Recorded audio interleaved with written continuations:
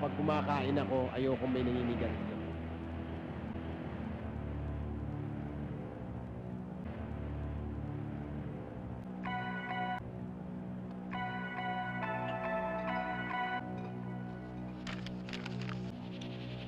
Mukhang maganda makipagkaibigan niya sa amo mo ah.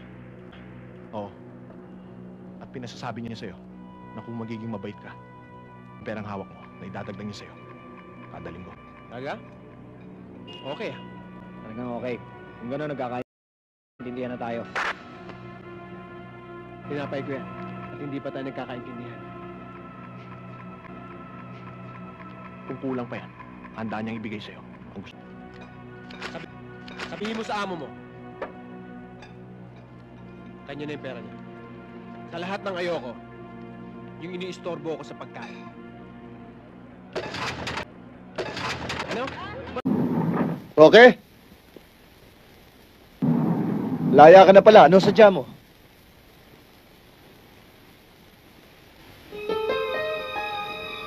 Huwag mong sabihin hinugot ka rin ni Acosta.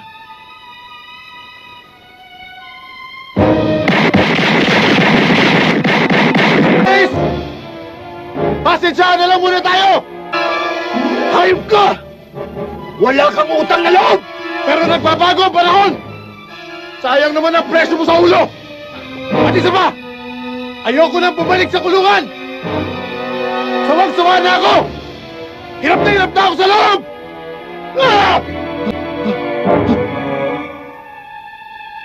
Okay. Hindi ka na mahihirapan ngayon.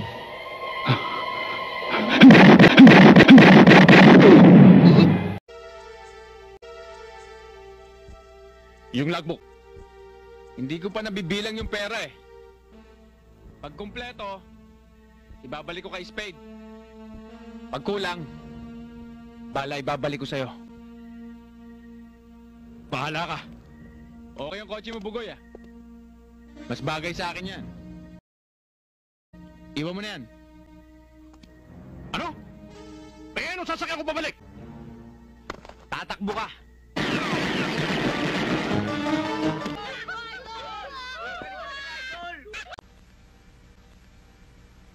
Okay ka sumagot ah.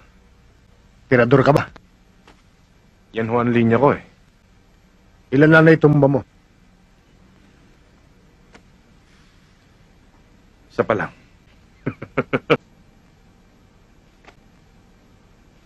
Nakakaisa ka pa lang? Isang dosena. Boss, baka sa bunga nga lang magaling yan. May kakilala akong ganyan eh. Magaling sa bukadora. Pero pagdating sa trabaho, nanginginig ang tuhod. Bakit? Gusto mo ba ako subukan? Ano sabi mo? Nanginginig ang tuhod mo.